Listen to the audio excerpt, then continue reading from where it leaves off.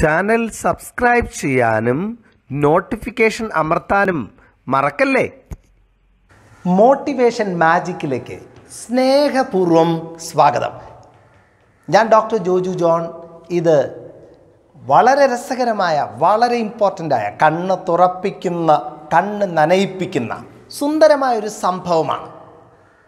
ഒരിക്കൽ ഒരു അധ്യാപകൻ തന്റെ അധ്യാപന ജീവിതത്തിൽ മടുപ്പ് തോന്നി നിരാശ തോന്നി ഇങ്ങനെ നടക്കുകയാണ്. അദ്ദേഹത്തിന് ഒരു ചായ കുടിക്കാൻ തോന്നി ഒരു ചായക്കടയിൽ കയറി ചായ കുടിച്ചുകൊണ്ടിരിക്കുന്നു. അപ്പോഴതാ ഒരു ചെറുപ്പക്കാരനും ചായ കുടിക്കാൻ വരികയാണ്. ഈ മധ്യവയസ്കനായ അധ്യാപകന്റെ അടുത്ത് ആ ചെറുപ്പക്കാരൻ വന്നിരുന്നു. അദ്ദേഹവും ചായ കുടിക്കുകയാണ്. പെട്ടെന്ന് ചെറുപ്പക്കാരൻ ഈ മുതിർന്ന വ്യക്തിയെ നോക്കി ചോദിക്കുകയാണ് മാഷല്ലേ? അതെ മാഷ് തന്നെ. താങ്കൾ ആരാണ്? എനിക്ക് മനസ്സിലായില്ലല്ലോ. ഞാൻ മാഷിന്റെ സ്റ്റുഡന്റാണ് ഞാൻ മാഷിന്റെ സ്റ്റുഡന്റാണ് വലിയ സന്തോഷത്തോടു കൂടെ ചെറുപ്പക്കാരൻ പറഞ്ഞപ്പോൾ അധ്യാപകന് വലിയ സന്തോഷം. അധ്യാപകൻ ആ ചെറുപ്പക്കാരനോട് ചോദിച്ചു എന്തുണ്ട് വിശേഷങ്ങൾ? ചെറുപ്പക്കാരൻ പറഞ്ഞു മാഷാണ് എന്റെ ജീവിതത്തിലെ വലിയൊരു പ്രചോദനം. ഞാൻ മാഷിനെ ഒരിക്കലും മറക്കത്തില്ല. മാഷിന്റെ ക്ലാസ്സുകളൊക്കെ ഞാൻ ഇപ്പോഴും ഓർത്തിരിക്കുന്നു. കൊള്ളാം. സന്തോഷം. മാഷിനത് കേട്ടപ്പോൾ സന്തോഷമായി. പെട്ടെന്ന് ആ മുതിർന്ന അധ്യാപകൻ ആ ചെറുപ്പക്കാരനോട് ചോദിച്ചു എന്ത് ചെയ്യുന്നു? ഞാനും ഒരധ്യാപകനാണ് മാഷെ. നീ അധ്യാപകനായെന്നോ? ഞാൻ അധ്യാപകനായി എന്ന് മാത്രമല്ല ഞാൻ അധ്യാപകനാകാൻ കാരണം മാഷാണ്. മാഷിന്റെ പ്രചോദനമാണ് എന്നെ ഒരു അധ്യാപകനാക്കി മാറ്റിയത്. ഇത് കേട്ട മാഷിന് വലിയ അത്ഭുതം. ഞാൻ നിന്നെ പ്രചോദിപ്പിച്ചെന്നോ? ഒരു അധ്യാപകനാകാൻ ഞാനാണ് കാരണമെന്നോ? എനിക്ക് വിശ്വസിക്കാൻ പറ്റുന്നില്ല. അത് മാഷെ ഞാൻ അന്ന് നാലാം ക്ലാസ്സിൽ പഠിച്ചിരുന്ന സമയത്ത് നമ്മുടെ ക്ലാസ്സിലെ ഒരു മിടുക്കി പെൺകുട്ടി ഒരു പുതിയ വാച്ച് ഇട്ടുകൊണ്ട് വന്നത് മാഷിന് ഓർമ്മയുണ്ടോ? അന്ന് എനിക്ക് വലിയ കൊതിയായിരുന്നു വാച്ച് കെട്ടാൻ. ആരും കാണാതെ ആ പെൺകുട്ടിയുടെ ബാഗിൽ നിന്ന് ആ വാച്ച് ഞാനെടുത്ത് എന്റെ പോക്കറ്റിലിട്ടു. പെൺകുട്ടി വാച്ച് കാണാതെ വലിയ നിലവിളിയായി കരച്ചിലായി. അപ്പോൾ മാഷ് ആ പെൺകുട്ടിയെ ഓഫീസ് മുറിയിൽ കൊണ്ടിരുത്തിയിട്ട് ഞങ്ങൾ ആൺകുട്ടികളെ എല്ലാം വട്ടത്തിൽ നിർത്തി. എന്നിട്ട് ഞങ്ങളോട് കണ്ണടയ്ക്കാൻ പറഞ്ഞു. എന്നിട്ട് മാഷ് ഞങ്ങളുടെ എല്ലാവരുടെയും പോക്കറ്റ് തപ്പി.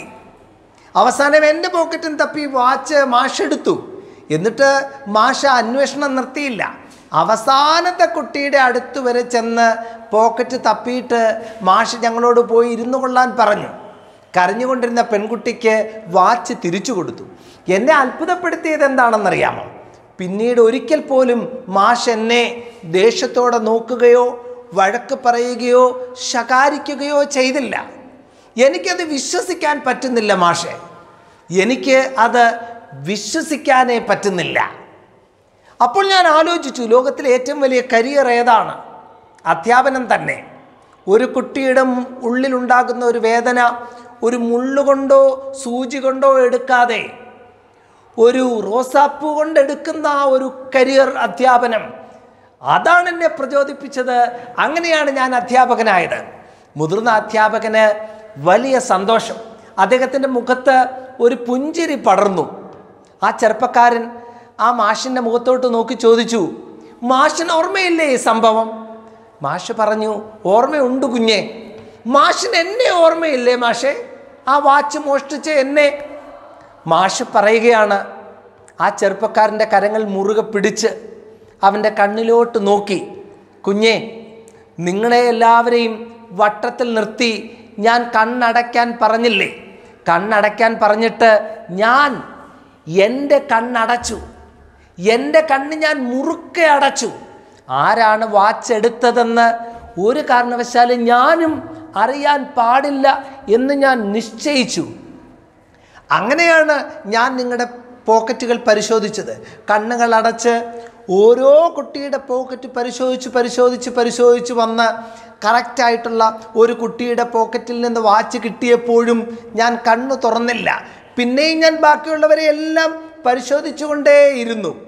എന്നിട്ട് അവസാനം ഞാൻ ബോർഡിന്റെ നേരെ തിരിഞ്ഞ് കണ്ണുകൾ അടച്ച് കൈ കൊട്ടി ഞാൻ നിങ്ങളോട് പറഞ്ഞു ഇനി കണ്ണ് തുറന്നുകൊള്ളൂ നിങ്ങൾ നിങ്ങളുടെ സീറ്റിലോട്ട് പൊയ്ക്കൊള്ളൂ എന്ന്.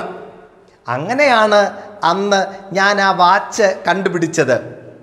ആ കൊച്ചുകുട്ടിയുടെ മനസ്സിൽ ഒരു വലിയ വേദന ഉണ്ടാക്കരുത് എന്ന് ഞാൻ മുൻകൂട്ടി തീരുമാനിച്ചു പോയി പ്രിയപ്പെട്ട കൂട്ടുകാരെ ഉളി ചെന്ന് പതിക്കുമ്പോൾ തടിക്ക് വേദനിക്കരുത്.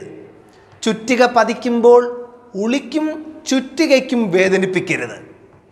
സ്നേഹത്തോടെ പുഞ്ചിരിയോടെ നൈർമല്യത്തോടെ ആരെയും നോവിക്കാതെ മൃദുലപാതികരായി ഈ ഭൂമിയുടെ മുകളിലൂടെ നമുക്ക് നടന്നു പോകണം. ആരെയും നോവിക്കാതെ പരിഭവിക്കാതെ ആരെയും സങ്കടപ്പെടുത്താതെ കണ്ണുകൾ നനയിക്കാതെ മൃദുല പാതുകരായി ഈ ഭൂമിയുടെ മുകൾ പരപ്പിലൂടെ നമുക്ക് നടന്നു പോകണം.